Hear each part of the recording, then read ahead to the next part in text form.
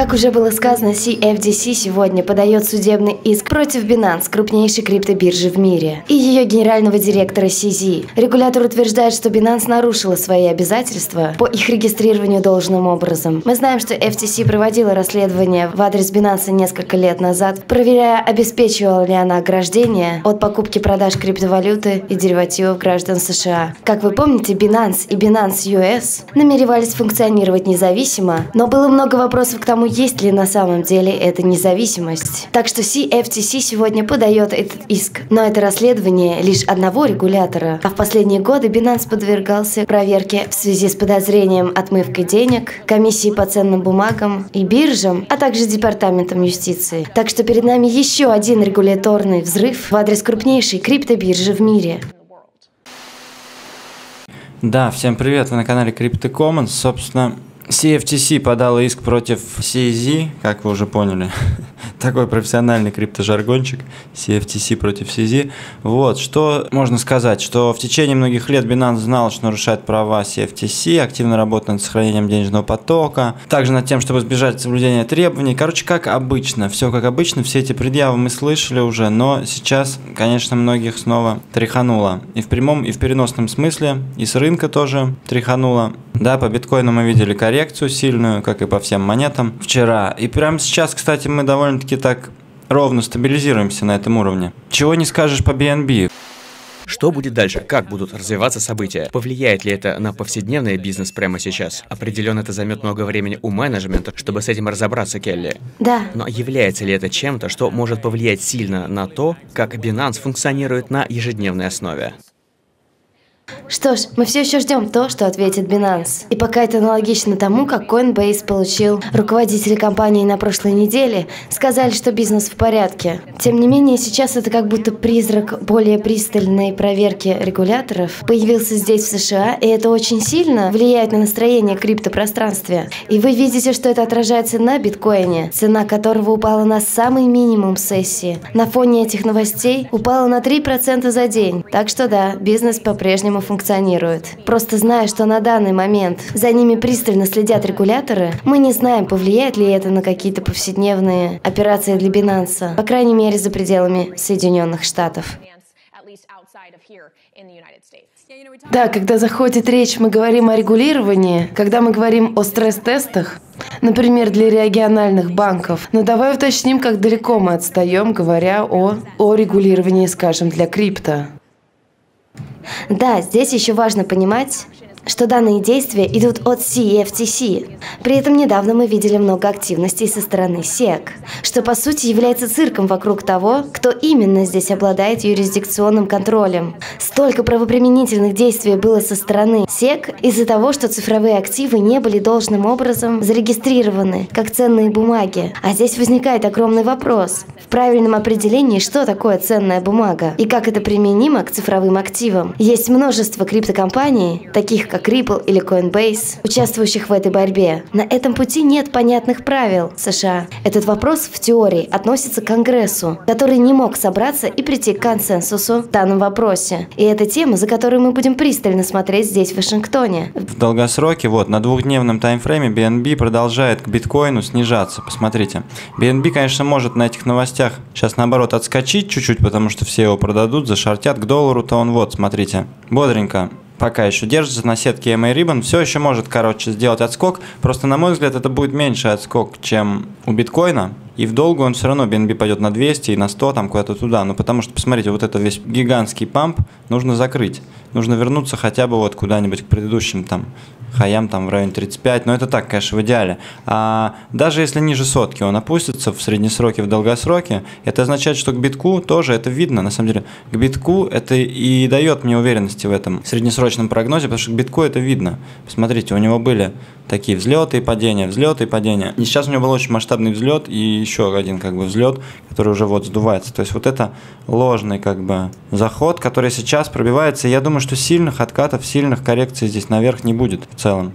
Потому что это, конечно, гениальный, гигантский памп и дамп, вообще весь этот Binance Coin. И сейчас проблемы, которые будут у Binance, они все-таки так или иначе будут им закручивать гайки, и с них будет отток ликвидности происходить. Поэтому даже в рамках того, что они не соскамятся, здоровый вот такой вот корректоз, как был вот здесь, да, по BNB, я думаю, что вполне себе нас ждет. Чего же делать, спросите вы, куда бежать с Binance? Крутите вниз этого видео в описании, и все лучшие биржи здесь. Bybit, BitGet, Femex, Bitflex, KuCoin, а также Apex DEX – это новый DEX, децентрализованная биржа от Bybit.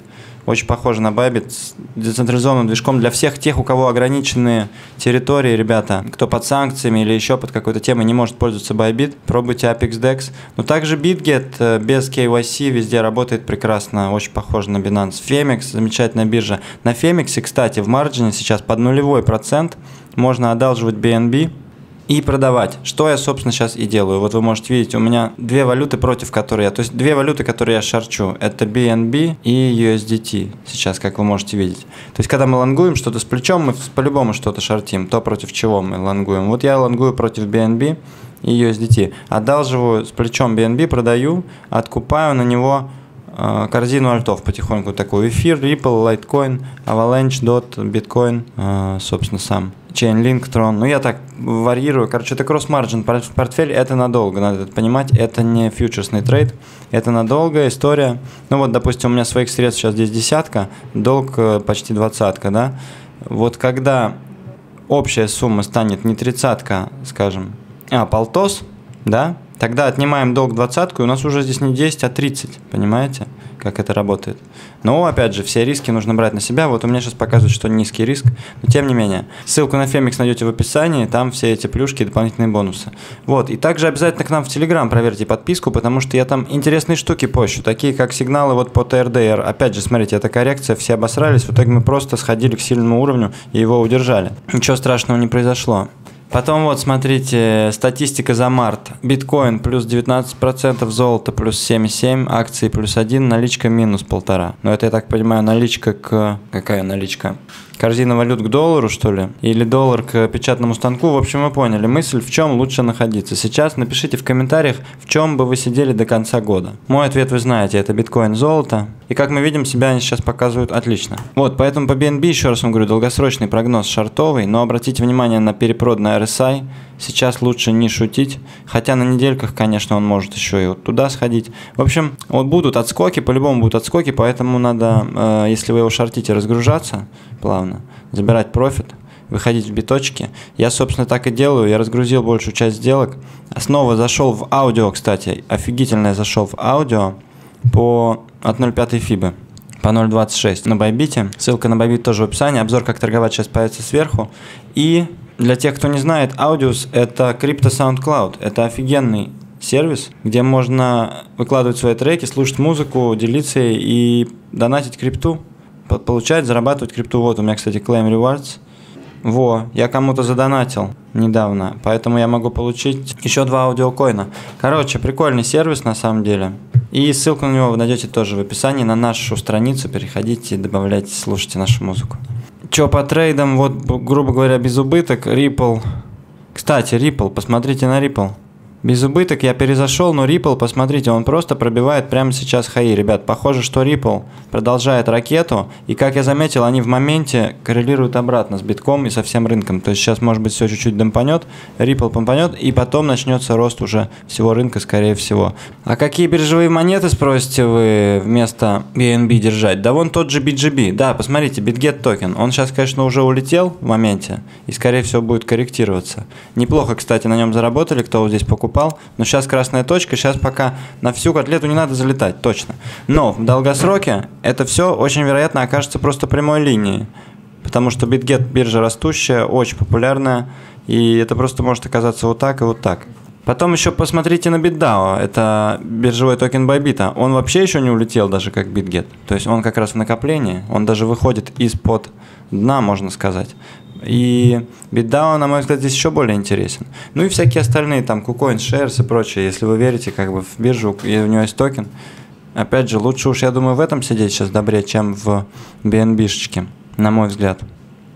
А по битку, если мы отдаляемся на недельки, ребят, мы смотрим, тут все нормально абсолютно. Зеленые свечи, хайки наши, мы выше и мои рибан. Да, могут быть коррекции, да, RSI немножечко сейчас смотрит в коррекцию. Но тем не менее у нас по неделькам даже по RSI аптренд сохраняется, и мы гораздо выше 50, что прекрасно. На дневке RSI тоже не стоит опускаться ниже 50, чтобы получилось некое подобие вот головы и плеч. То есть прямо сейчас, в ближайшем будущем, нам по-хорошему нужно уже отскакивать и продолжать рост. Думаю, что как-то так. Поэтому в сухом остатке, друзья мои, самые нормальные биржи. Если вы собрались э, бежать с Binance, то самые крутые биржи вы найдете в описании. Bybit, Bitget, Femex и все остальные. И также рабочие обменники, что немаловажно, для тех, кто, кому нужен вывод, ввод с карточек э, банков там, и так далее, с кэша, P2P обменники. Сами ими пользуемся много лет, никаких нареканий. Только сегодня выводили через Fast Change. Всем спасибо, что посмотрели это видео. Всем профит-ролик, удачи в торговле, хорошего настроения и до следующей встречи. Пока.